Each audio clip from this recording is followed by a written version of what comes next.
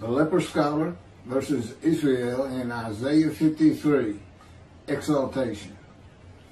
The belief that Isaiah 53 describes the Jewish people as the man Israel that is often attributed to Rashi is now the prevalent teaching on the subject.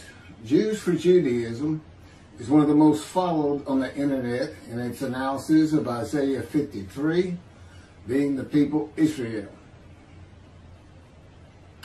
The following is from Jews for Judaism, Isaiah 53, verse by verse.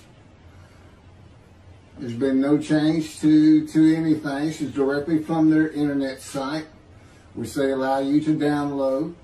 They authorize the use of this material. If you're not authorized, if someone doesn't say share this or download this, take this, in some manner authorizing you to take it, you are not to take information from people's websites. But having this authority to take it, the only thing I have to worry about is slander and perjury, and that is not something I would do. I'm a lawyer, very familiar with these things. And this is in quotes. 52, 13. Behold, my servant shall succeed. He will be exalted and become high and exceedingly lofty. The success and exaltation of God's servant is an event that the prophet sees as futuristic. This is Jews for Judaism, and, and that particular uh, verse 12 is different than the one that's used in the Jewish Publication Society's 1985 edition of the translation of Hebrew to English of the Hebrew Bible. I'm not sure where they where, where it comes from. Continuing on with this writing, the immediate context, chapter 52, verses 7 through 12, tells us that this is part of the blessing that Israel will experience at the time of her restoration.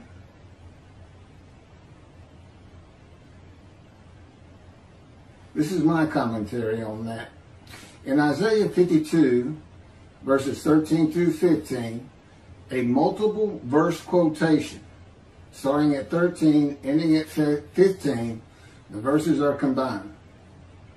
The Lord begins to describe his righteous servant of chapter 53. Isaiah 52, 13 through 15 should have been verses 1 through 3 of chapter 53. My servant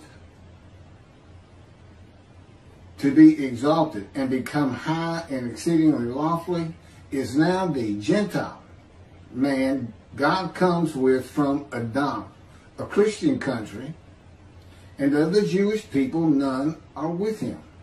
It is not the exiles.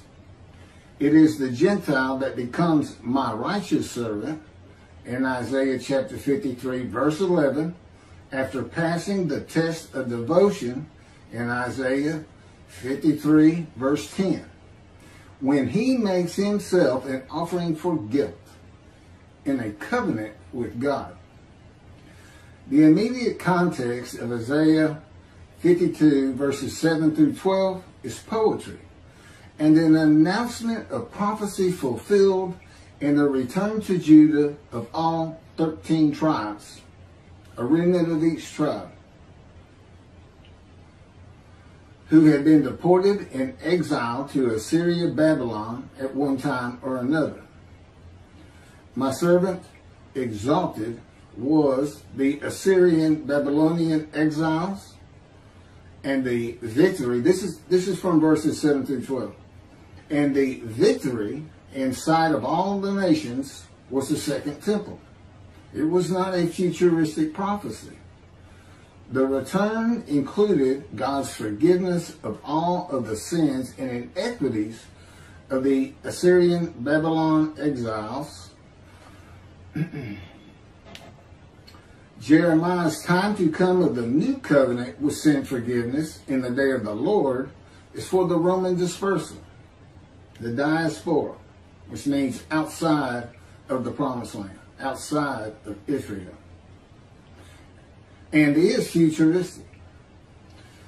The translation of Art Scroll and Chabad of Isaiah 52 that Rashi comments on does not include the quotations that combine verses 13 through 15. The translation used by Jews for Judaism for its commentary also does not have the quotations. They are the only verse quotations of Isaiah 52 and a demarcation of the verses of the fulfillment of prophecy by the return of the remnant of the 13 tribes from exile. They are the beginning, verses 13 through 15, of the description of God's righteous servant of Isaiah 53 and had nothing to do with the exiles. Prophecy fulfilled. That's what chapter 52 is, and it ends in verse 12.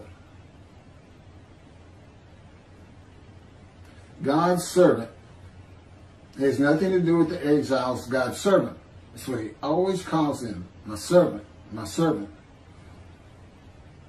And after chapter 53, he doesn't start calling him my righteous servant. That hasn't changed.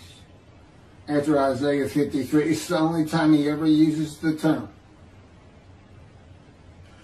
God's righteous servant is a Gentile in the beginning. The translation of the Jewish Publication Society has the quotations. This is their rendition. Indeed, my servant shall prosper, be exalted, and raised to great heights. Verse 14, just as the many were appalled at him, so marred was his appearance, unlike that of man, his form beyond human semblance. Verse 15, just so he shall startle many nations. Kings shall be silenced because of him, for they shall see what has not been told them, shall behold what they never have heard. My servant is now the Gentile and not the exiles who becomes my righteous servant in Isaiah 53, 11, after passing the test of the devotion in Isaiah 53:10, when he makes himself an offering for guilt in a covenant with God. Isaiah 53 then begins with a new multiple verse quotation that is missing the quotes from the translation of ArtScroll, Chabad, and Jews for Judaism. But again, it's they are included in the translation of the Jewish Publication Society. And what's interesting about their rendition is they started from scratch, a complete new translation begun in 1955. Involved were Orthodox rabbi, a Orthodox rabbi, conservative, and reform, along with uh, specialists in linguistics, professors, scholars from universities. It spent, it would look, uh, 55 and it's, it's uh, went to print in 85.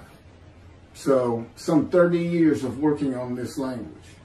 And, and they, they, they used the oldest Hebrew Bible that we have, around 1100, I think it is. It's called the Leningrad Codex. And they just, they just took it out, started on the first page. Now all these other renditions are generally, are generally a uh, translation that began with the Leningrad Codex, but went through several different translators, making different changes. And of course, when this was done, Hebrew had been adopted by the state of Israel, uh, I would suppose in 1948 when Israel was created after the Holocaust. So they, they had a good background, you know. Uh, here, here's how they read. Who can believe what we have heard? Upon whom has the arm of the Lord been revealed? For he has grown by his favor, like a tree kind, like a tree trunk out of arid ground. He had no form or beauty, that we should look at him, no charm, that we should find him pleasing.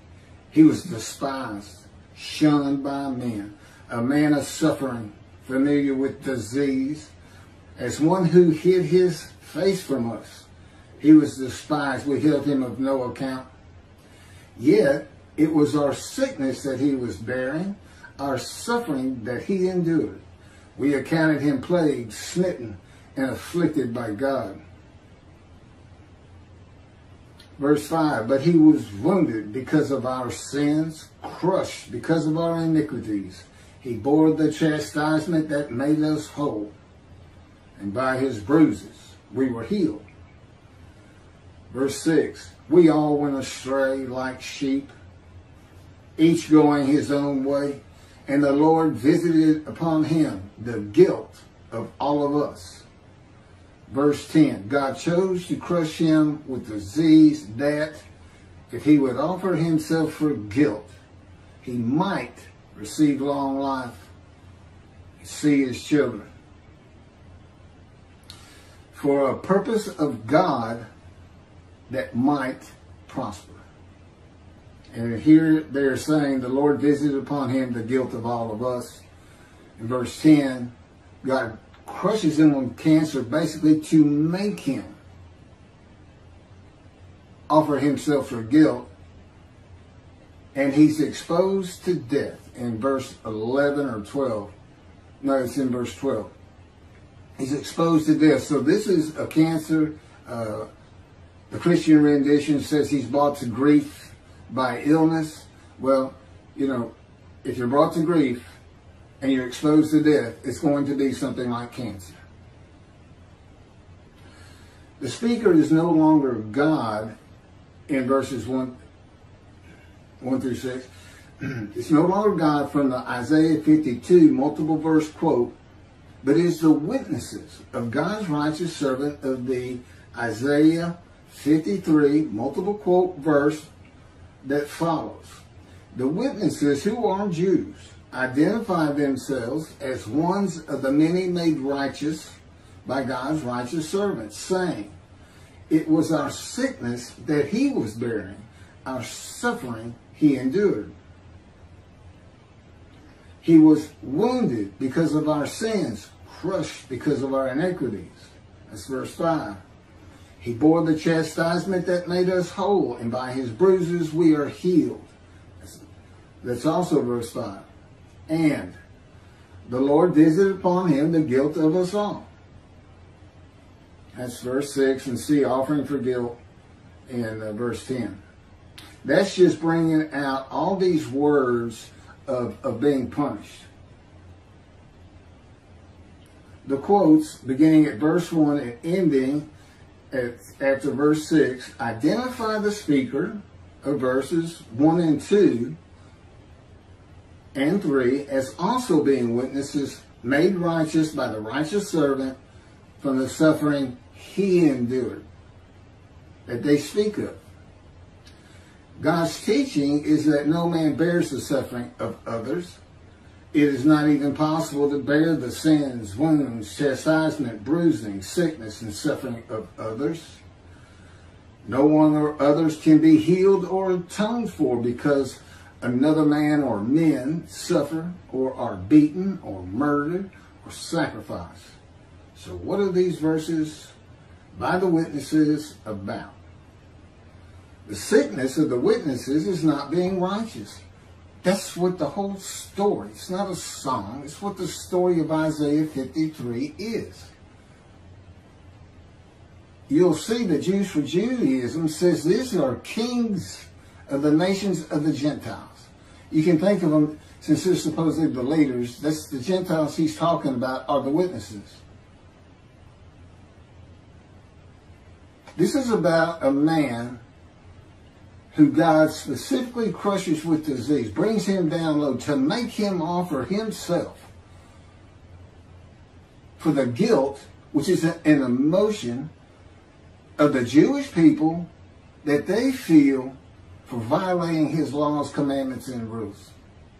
That's the sickness. It makes you sick to your stomach when you realize you're not doing well in God's ways. All the problems you have in your family, with your children, with your boss, everything, if you're sinful, if you're not following the commandments God gave you to live your life as in the best way possible in this harsh world. And he knows that. Those commandments are for us. Do not, it's just his way of saying, I understand the world's harsh. I have a purpose for it. It's perfect. It's exactly what I want.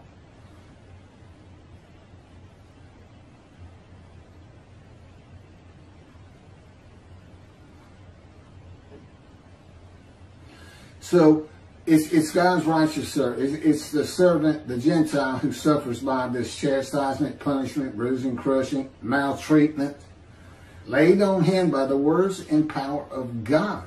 It's not the world that does this. It's not man. It wasn't the Romans.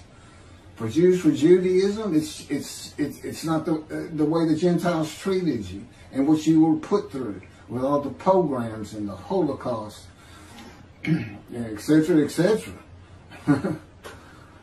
a purpose and, and uh, by God's power to make him suitable for his purpose that might prosper.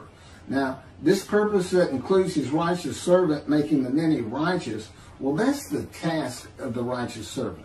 That's not what God's purpose is.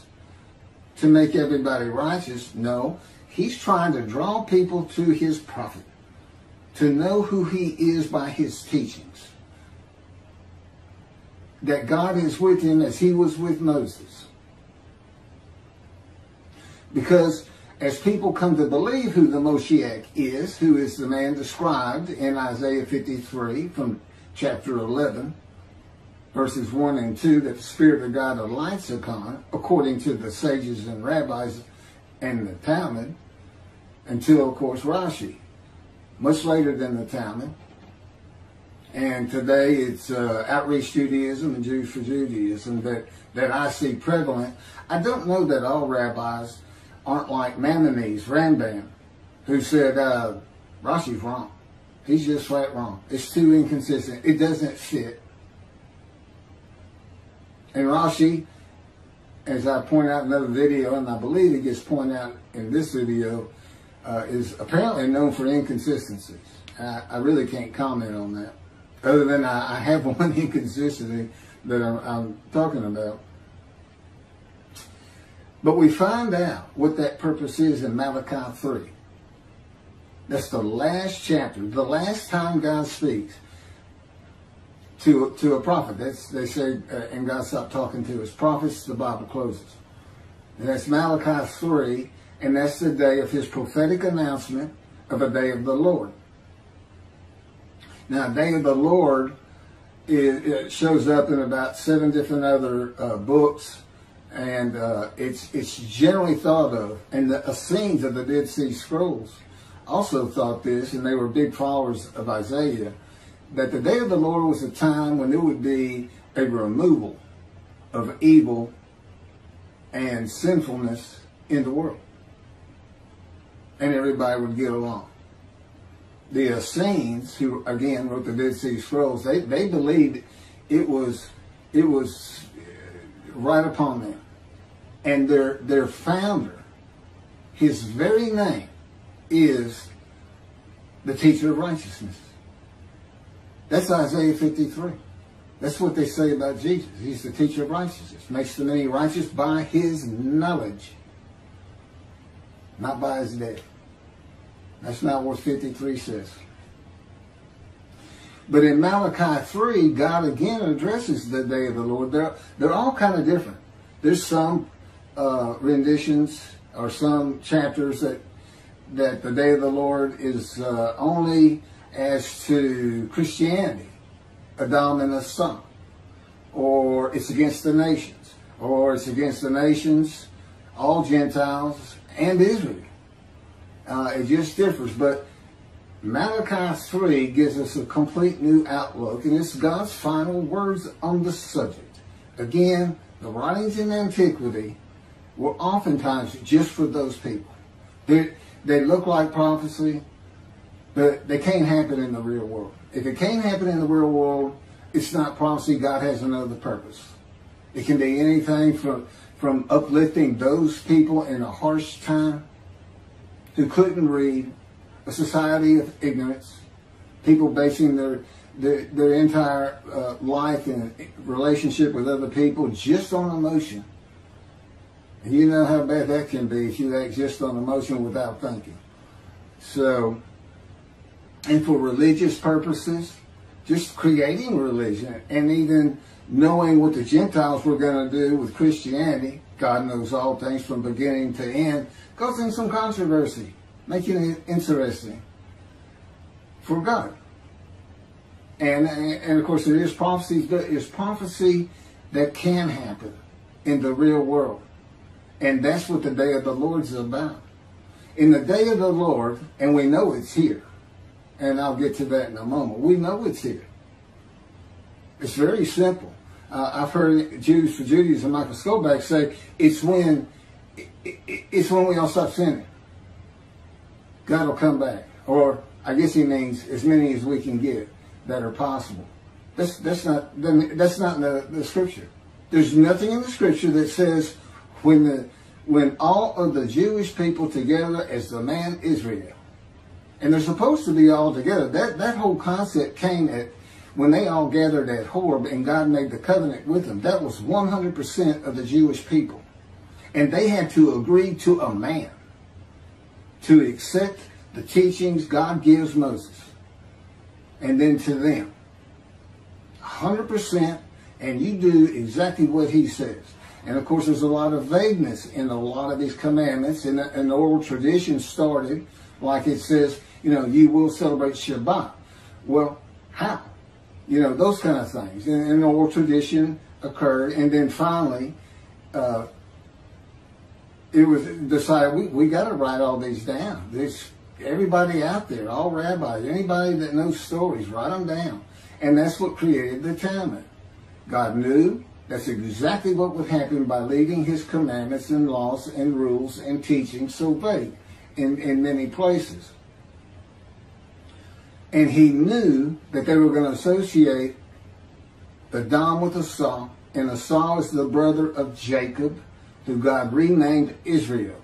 Eternal antagonists, almost enemies.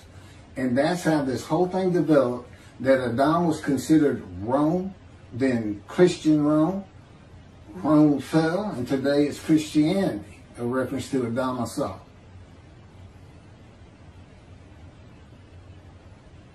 So we find out what the purpose is in Malachi, first verse. God says, I'm sending my messenger to clear the way before me. Meaning he already knows there's not going to be a temple. That one's going to have to be built. He already knows. Because he comes with a covenant of friendship that says, I'm going to place my sanctuary amongst you. He knows it's not there.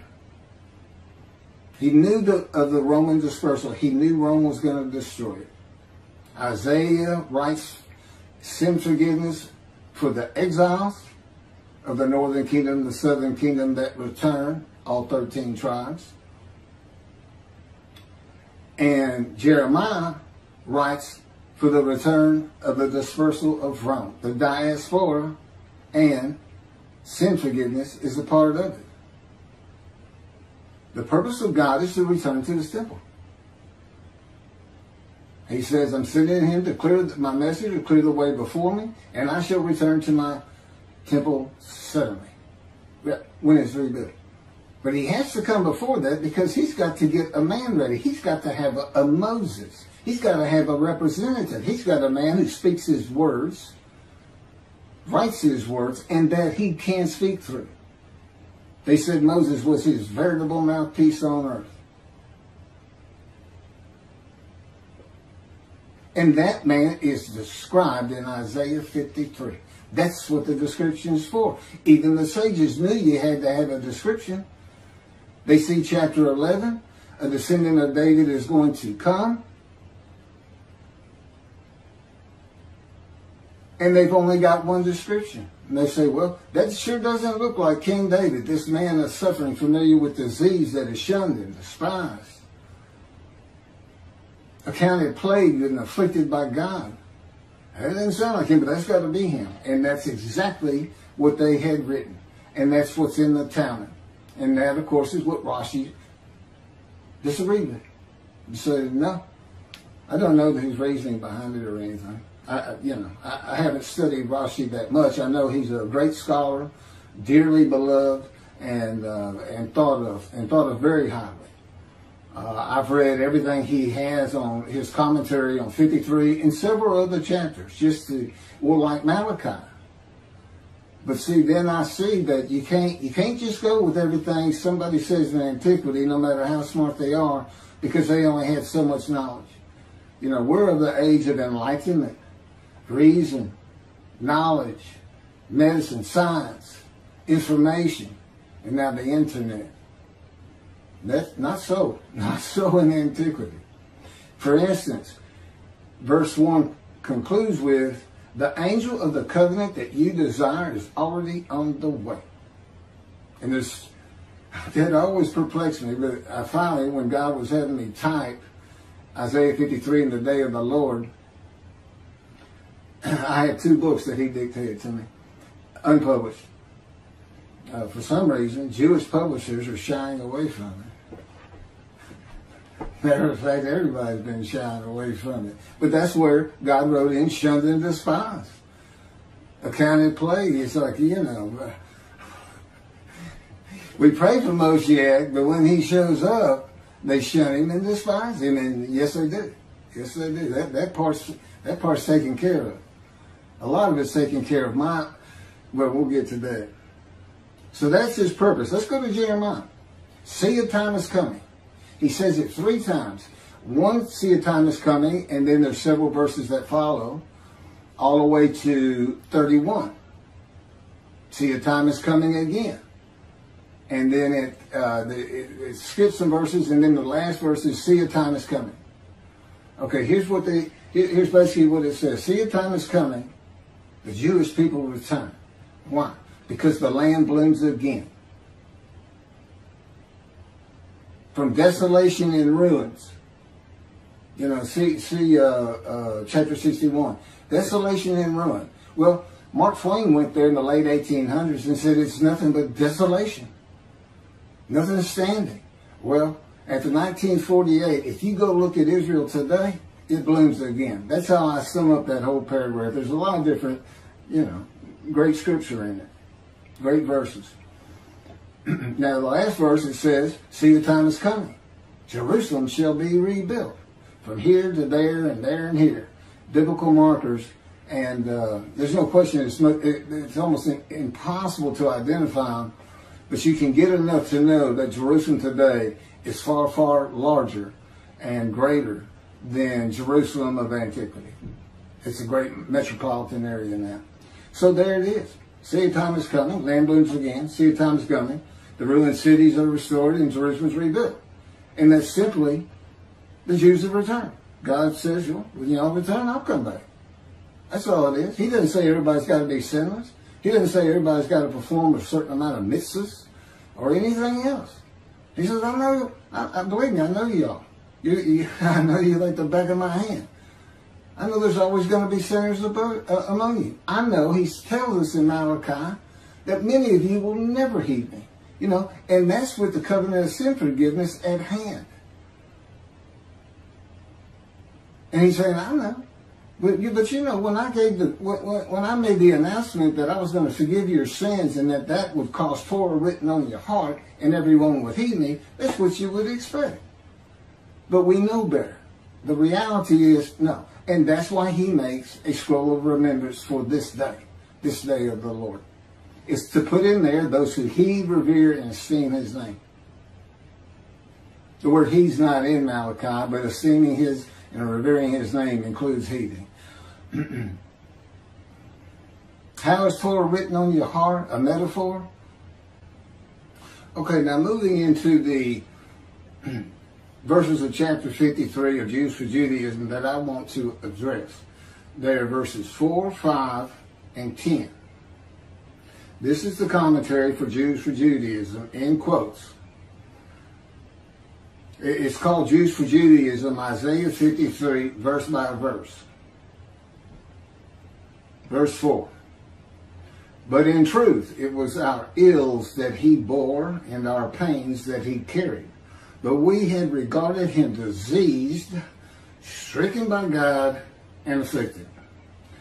the kings now, re- now realize that their spiritual assessment of the servant was completely backward. During the time of the servant's lowliness, those who knew him believed that his constant affliction proves that he is spiritually deformed. Otherwise, why would this nation be singled out for God's wrath over any other? But now, this is all Jew for Judaism. But now, with the servant's exaltation, they realized that the servant was not more wicked than them, but more righteous. So the Gentile nations in the, I guess, end times, the time of the Messianic era when David comes, uh, this this time of uh, great change in the world, their assessment of the servant is reversed because they come to a true understanding of God's plans. So two billion Christians, two billion Muslims are going to say, the Christians are going to say, well, there's no Jesus. Oh, we thank you. The Jews have been right all along. And all the Muslims doing the same thing regarding Allah. Allah means God, but it's a totally different God from the God of Israel. With the restoration of Israel and God's glory coming to dwell in the Jerusalem temple, the nations of the world will experience true sanctity and a real connection to God. Personally, I believe, I believe the nations aren't going to be happy at all with the Jewish people saying, our Moshiach is here and we're building a temple because God is with him. I don't think they're going I don't think they're going to be real happy with the Jews. That may cause the ingathering that's always talked about and send plenty back to Jerusalem. As opposed to peace and harmony among us, all nations. That is part of the exaltation, the Messianic era. They will realize, this is the Gentiles still, or it's the kings, and as I said, they're Gentiles and they're the leaders. So I, when I read kings, I see Gentiles, and of course, as I have pointed out, that's not the witnesses. That's not that's not who's talking in, in verse four. That's not who's talking. It's the people who are made righteous. They're sick. And what's what's the story of 53 about? It's about a man who becomes the righteous servant of God. And these people are righteous. So what's their problem? They're sick because they're not righteous. What does God do? Well, we're going to find out because the key to all that is Ezekiel. It's in there. He went through this, what, what, what, what happens in 53, this story, he goes through this wounding, this chastisement, punishment. Okay, it's not wounding. That's the only one that slipped out. Bruising and crushing. And God tells us why he's doing it to him. It's to, it, it's to make him suitable for God's purpose. Ezekiel has a furious spirit. I'll get to all this. Or I've gotten to in other videos. I don't know. God will take care of that. I, I don't have to worry about it. It'll all come out as it's supposed to. They will realize that many of their activities were actively preventing God's presence from being manifest in this world, even though they had considered considered many of these activities to be righteous and godly. So it's the Gentiles preventing God from coming. Really? Does anybody think they can keep God from coming? He made it clear in Jeremiah. Y'all, when, when y'all return, when you when you fix my land back up, when you build me my house, I'll be there. And I'll come with the covenant of friendship. And I'm going to forgive all your sins. What is this everybody needs to be sinless? If everybody is practicing Judaism, going to Yom Kippur, and they're right standing with God, why do they have to be sinless? The covenant, the new covenant says, I forgive your sins. That's what the covenant is. It's in addition to the, the first covenant with the Israelites. And there's an amendment to that in Malachi 3. The addition of sin forgiveness and the addition and the inclusion of an amendment with the confirmation, affirmation by God of you shall be my people and I shall be your God. Well, I mean, as long as you're mindful of the laws I gave Moses at Horeb. That's that's that's the first covenant. It's only new because it's being changed up a little bit. That's it. It's not new. God has always been the God of the Jewish people. It never ended, and He's starting it over with the new covenant. That's not what it is. But anyway, he comes back with sin forgiveness. That's not an issue. You return, I'll come back. I'll bring covenant friendship, and I'm going to, uh, what, what, what ends up happening is all the remaining prophecies of the Hebrew Bible are fulfilled. And they're fulfilled with one man, God's righteous servant. Because he has the abilities and capabilities of those who are coming, those who have been prophesied to come, that don't have a description. You got four men coming, and only one description, the description of the righteous servant. Elijah's coming. He sends him in Malachi 3. That's Elijah. He, he shows up in verse 23. But he's the messenger. He's the man who has to recounsel son to the father, father to the son. Today, that's family members one to the other. And how does he do it? Well, the verse before that is, be mindful of the teachings I gave Moses, of all my laws and rules for Israel. Is that so? So Elijah's purpose is the same as the righteous servant. Make them righteous. Bring them back to Judaism. Well, that's what the righteous servant has to do. That's how he's going to make them righteous, and he's going to convince them because one, they're sin free. It says make them any righteous. Well, they're sin free, but they have to know. It has to be announced. How do you announce a covenant? Well, how'd you get the first covenant, Jewish people? Moses. God talked to a man, and he gave it to you. And as one man Israel, you accepted it.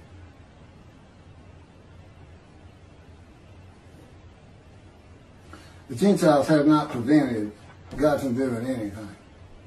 Neither have the Jews. He do what he wants when he wants.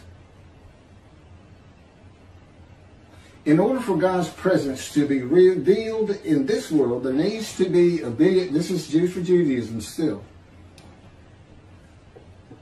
There needs to be obedience and humility toward God. This obedience does not have to be perfect because God doesn't demand from his creations that which they cannot deliver, but it needs to be accepting of God's sovereignty to the degree that humans are capable. Since all of mankind benefits from God's presence being manifested in this world, it would be appropriate that all of mankind participate in the work of preparing a resting place for God's presence. The, the way that this sanctuary for God would be prepared would necessitate the mankind purify its collective heart. Well, wouldn't that be interesting? Does Moshiach have to do that? How does he get mankind to purify its collective heart? In order to build this dwelling place for God, mankind would need to strive to achieve humility toward God and to accept God's sovereignty. So the entirety of humanity from the Chinese to the Russians to the Australians, every single human being, although not perfectly, has to strive to achieve humility toward God. Good luck, Moshe. That's what I would tell you. And I'm him. So, yeah. I'm the man about Isaiah 53, and this is the 16th video by now. And it's the first time you've watched it, you need to go back and listen to the others. and the witnesses are, the witnesses are the Jewish people. They're the witnesses who need to be made righteous. That's why they're sick. That's why they're in verses 1 through 6 in quotes. That's what this story is about. Now, what are all these words for? What's all this punishment everything else? Well, we're going to find that in Ezekiel. It makes it real clear. So, purifying the hearts of the world. Okay.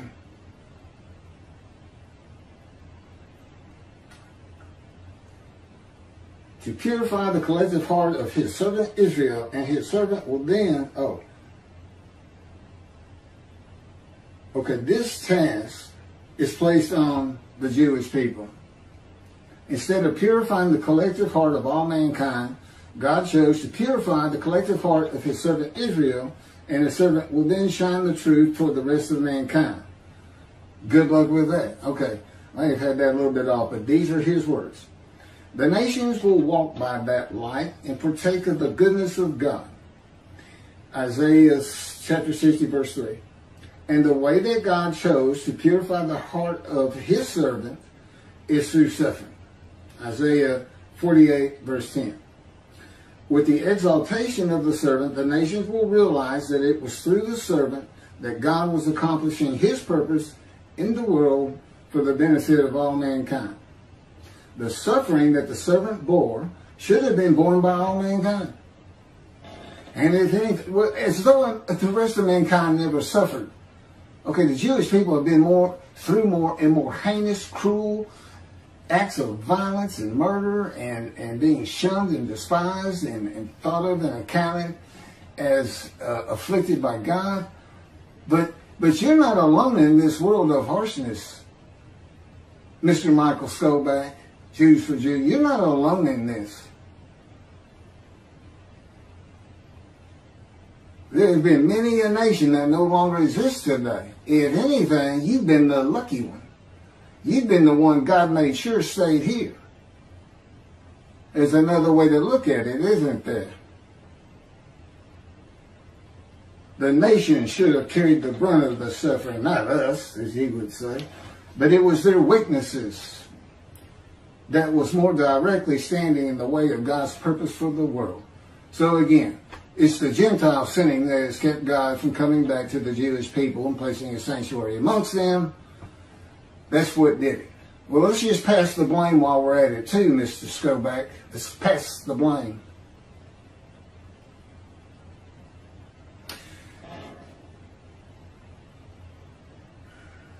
Isaiah 53, this is what it describes. This is what we're looking for. Put it all together. A man that God does not like a sinner whose life is full of bad events, sickness, and suffering. God's righteous servant will have had persistent hardships and troubles, severely injured, and have been grievously affected, especially by disease, none of which at all of the Jewish people at one time. Again, they had to be gathered as one to be called the man Israel. And all of these things would have to apply to all of them at one time. It's never happened. Any more than at one time they had been plagued with disease by God that they would offer themselves for guilt. It's never happened. And quite frankly, it can't happen. You can't gather every Jew today. You think you can get, well, if you think you can convince all of humanity to say the Jew has been right about God all along, then I suppose you think you can gather all the Jews of the world and collectively offer yourselves for guilt. But let me tell you what you go through. It's what Ezekiel went through, and he got pinned to the ground, tied with God's, the cords of God's power with his hands behind his back, laying on one side for 360 days, facing Jerusalem. And then he got the foot for the sins of the house of Israel. Their punishment that you will bear, he tells him. And then he gets to flip over for 40 years on the right side for the punishment of the house of Israel. But the punishment is clearly for their sins. It's what they're in exile for. So it's not vicarious suffering. He's just saying you're going to suffer like they did to the extent I can get it from you. Because it's going to change you, Ezekiel, is what he would have told him.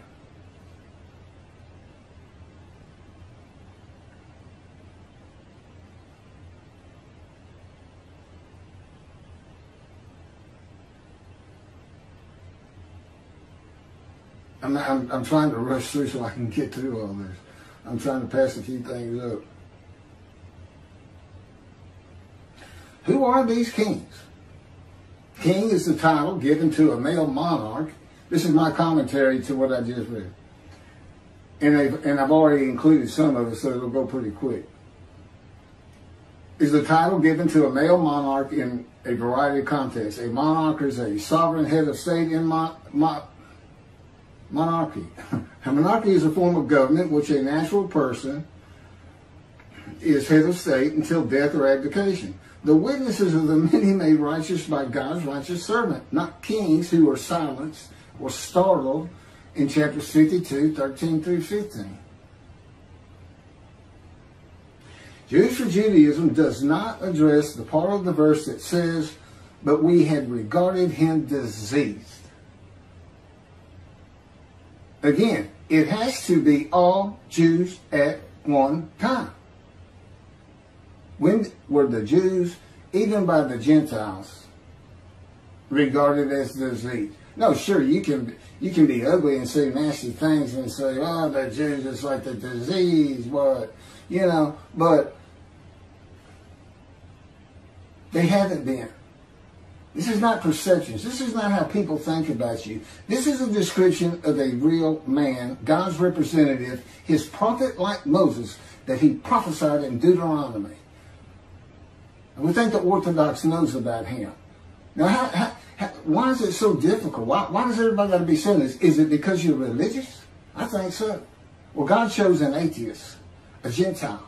The arid land in verse 2, that's Christianity. Uh, he comes from Edom. He comes from a Christian land. And of the Jews, no people are with him. It's so easy to figure out. See, a time is coming, the land blooms again. See, a time is coming, Jerusalem's rebuilt. Then I will make a covenant with you. Okay, covenant's here. How do we know? Well, you got to have a spokesperson, don't you? God does. You got to have a prophet like Moses. Oh, yeah, Deuteronomy's going to send a guy back. Wonder what he looks like. How do we identify him? Because I'm not going to believe anybody if I don't have a description. Hey, hey, wait a minute. Here's the description. This is what the sages said. said Moshiach, the anointed one from chapter 11, will be described here. That's how we find him. Well, he's here. He's got to be here. The covenant's here. Let's find him. Uh, it's like y'all think he's going to come back Jews for Judaism, outreach Judaism, like like uh, uh, I, I, I heard somebody ask Tovia, God had me listen to it on the radio, and somebody called in and said, "How do we know Moshiach's here?" Here's his answer: I'll throw up the window and look out, and Torah will be written on every heart. No, you go to Jeremiah. The land blooms again. I, I don't know how you look at everybody. you can see Torah written on the heart. I guess everybody's going to synagogue, but You return, I'll return, will put my sanctuary amongst you. You're all sins forgiven. I know many of you that won't matter a bit. I'm writing a scroll of remembrance for that day. Bring Elijah. He's going to try. He, he's going to. He's got the same purposes as the uh, righteous servant. So already, who is he? Well, we got this is this is what's unfulfilled. Four men to come, two prophecies to uh, covenants to come. David at his arrival, God makes the grant of his friendship covenant. So that's with David. He needs to announce that. And Elijah is the messenger. What's he a messenger of? New covenant. Who's the only man taken to heaven? Elijah, specifically in the Hebrew Bible. And God sends him back. You got to ask yourself, why? Because he can talk to the angel. Right? Give me the covenant. Okay, I'm going to go announce it now. Where's the description of him? He's got the same purpose as the purpose of the man Isaiah 53. If it describes anybody, it's going to describe Elijah by purpose far greater than it's going to, going to describe Jesus Christ. Doesn't fit a single verse except the last one, the one that says he's a sinner. There's so many lies by him in that book, New Testament. I've, I've got a video on Doubt me? Go look at it. Go look at what the verses really say. Go look at what happens when Jesus says, all the prophets say of me, I'll ride this ass into Jerusalem and the Gentiles will spit on me, mock me, scourge me, kill me, and I shall rise on the third day. All the prophets, huh? Well, I got 20. In your Old Testament, the Hebrew Bible, not one says that. No one ever says that anywhere, even in biblical scripture, supposedly, that wasn't canonized. But there is one Zechariah. I believe it's chapter 9, verses 9 and 10. It's definitely verses 9 and 10. The Messiah will ride an ass into Jerusalem, which just means he's humble. I'm going to go to Jerusalem, and I'm not riding an ass in to fulfill this verse, but I will be humble. God's making sure that as part of this process of being made suitable, where all those big, heinous words are listed, punish and chastisement, treatment, taken from society, taken, cut off from the land of the living is what it says. Well, so was, so was Ezekiel. But I'm going to get to Ezekiel. Who are these kings?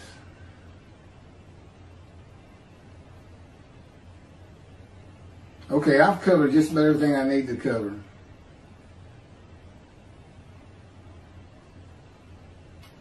So I'm going to go to Isaiah 53 10.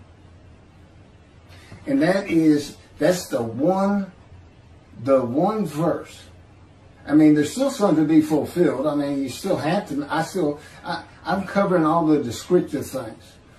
That's what the book of my life is about. It's called The Life of the Righteous Servant. God, of Isaiah 53.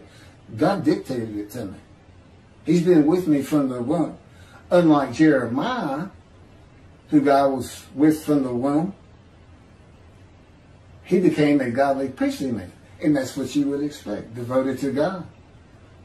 He came to me for a totally different reason. To make my life one of suffering, familiar with disease, to fit every verse of Isaiah 53. And he's very thorough. He's very thorough. Now, he didn't speak to me until I was 50 years old, seven years after they removed a tumor from my colon that should have killed me that metastasized and spread into lung cancer. And I was given no more than a month, month and a half to live. I mean, that's how they made it sound. I, I said, well, what does all that mean? They're showing me pictures of my lungs with all these white spots telling me that's cancer. And this is post-chemo for colon cancer, which never returned. And uh, they said, it's too advanced to treat. I said, what's all that mean? They said, you're going to die and you're going to die soon. I mean, with that kind of stage four diagnosis, rarely does anybody make a year. And um, I never saw a doctor again from that day. And I haven't to this day. And that day was when the planes hit New York 20 years ago. Now, that's my proof that I offered myself for guilt. I'm supposed to be dead 20 years. I've been exposed to death four times. I've been shot through the abdomen just about had my right leg removed after impaling it on a Coke bottle when I was 10 or 12. I mean, and I've got some 15 surgical scars just from accident. It seemed like every two years I was getting stitched up somewhere for something. And God orchestrated the vast majority of it. And he showed me that by his words and in vision. We've gone back to some of these events and say, he said, see, see what was, see, see what happened? I said, didn't that make you feel bad? You've been with me from the one and everything. He said, Keith, I'm God. Things don't bother me unless I let them bother me. Like Christians. I just put him because he, he is he's he's a he is a being in existence with emotions. That's that's his image in us. We are beings in existence with emotions. But God's emotions, he's been around forever billions upon billions and billions of years. You know, as you get older, you'll find, young people, you'll find that your emotions aren't near as volatile. You tend to think yourself you're way out of things so you don't get banged up and this and that. You just, you slowly, they don't affect you as much. That's why he loves the world and the story he created with the Jewish people. All the conflict. And then when he makes a heaven just for the Jews, they're the only people that are going there, not Christians, not Muslims. There's no, there's no, where, where there's, there's no 70 virgins in heaven. I've seen it. I've been there visions so many times. I've been in the temple so many times because God would take me in visions in just about every chapter we study to really make it sink in, to make me understand these things that I'm teaching. This is the teaching of the teacher of righteousness. And, and when David comes, God has a reckoning with the shepherds. That's the rabbis. And he dismisses them. Well, somebody's got to tell them what that means because apparently they don't know because they never talk about it. They never talk about the day of the Lord. Their Messianic era doesn't have a day of the Lord. They never apparently received the new covenant. Or they say we get the covenant, but who are you getting it from? Oh, Moshe. No, you're getting it from Elijah.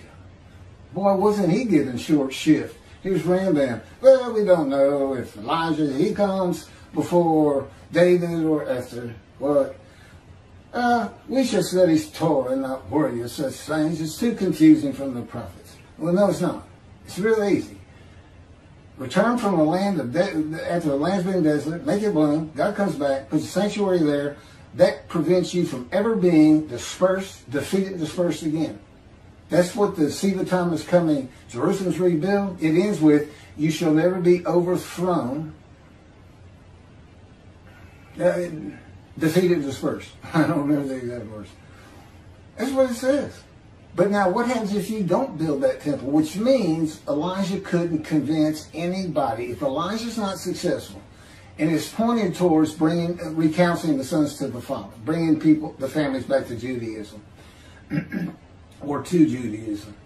Okay, but what it's really about is he's got to be known. He's got to be recognized. He's got to be held up high, or he's never going to have the clout, the people behind him to get that temple built, which will probably occur because Israel gets attacked again, like the Six Day War. God says if he's not successful when I come, I'm coming with utter destruction to the land. And he does not mean he's going to do it like Sodom and Gomorrah in his power. He means his creation is going to do it. The Middle East is going to destroy the Jewish people and that land someday. And it doesn't, it's not necessarily, and I don't think it is in the day of the Lord. But it's going to happen if this thing doesn't take off. This is the day of the Lord. Think about that carefully. He has returned to this earth. He has chosen a man. He has described that man. He expects these Jews to listen to him. Although he already knows in Malachi, I know many won't. I know many won't. You have seven million Israeli Jews. Now that should ring a bell when you read something that says God comes with utter destruction. Would it have been different? He said, "I'm gonna when I come, I'm gonna raise up armies." It's the same kind of statement. And what happened when he raised up Assyria? When he raised up Babylon? When he raised up Rome? What happened? You think they were expecting it? And did he really raise them up? No. He just he just he just looked up and said, "Well, there's Rome. They're coming. They're gonna make it here. That's gonna be ugly. There's Greece. Yeah, they'll be coming. There's Persia. Maybe I can use them." And he writes it as though he's doing it. Why? To put fear in his people. To, to try to make them stop sinning. To come to Judaism. That's God's way. i you know, and if you don't, I'm going to punish you. You know, he never leaves you. That's made clear. He, he, there's one psalm where he says, it doesn't matter if every single one of you, the man Israel, turns their back on me, I'm not leaving you. I'm going to punish you, but I'm not leaving you. But anyway, I don't know. I don't remember which one it was. It's just kind of a summation of it. I remember reading it.